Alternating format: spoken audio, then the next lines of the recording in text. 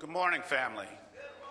My name is Jay Young. I'm the executive director of Common Cause Illinois. Uh, it's the Illinois chapter of a national 50 year old organization that's dedicated to holding power accountable and fighting for democracy. Um, you know, I'm, I'm real excited to be here, not just because I'll get to spend this morning with you, but usually when people call me to talk about something, it's because something's burning. Um, but I'm here today to talk about a victory in the making. Uh, we're seeing all over this country right now state efforts to suppress the vote. Uh, we, are hearing poll taxes. We're seeing poll taxes in Florida. We're seeing what's happening in Georgia, where uh, they're really trying to mess with the vote.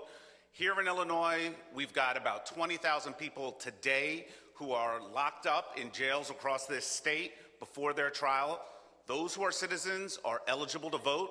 And uh, what I'm here to tell you is that there's a bill on the way to Governor Pritzker's desk to make it easier for those folks uh, to have the same rights that all of us otherwise uh, uh deserve. We're going to see polling uh, places, polling officers in the Cook County Jail. Uh, that's something that Rainbow PUSH, Rainbow PUSH is one of the first organizations, if not the first, to be in the Cook County Jail registering people to vote. And I'm here today to tell you that it's going to be the law of this nation, of this state, to make that more important. Even more important than what I'm talking about right now is there are 4 million people across this state with criminal histories. A lot of them think they're not eligible to vote. We're coming up on 2020. It's probably going to be the most consequential election in my lifetime.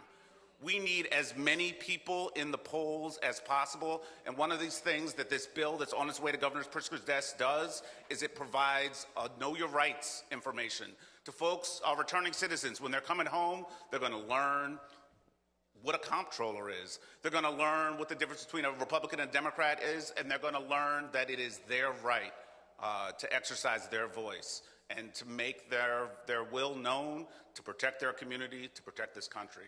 So again, I'm just thankful to be here. And uh, when those folks come home, I want, to know, I want you all to know it's incumbent on each and every one of you to welcome those folks back and let them know what they have to do. I'll be here with you. And uh, again, just thanks for having me. Thank you.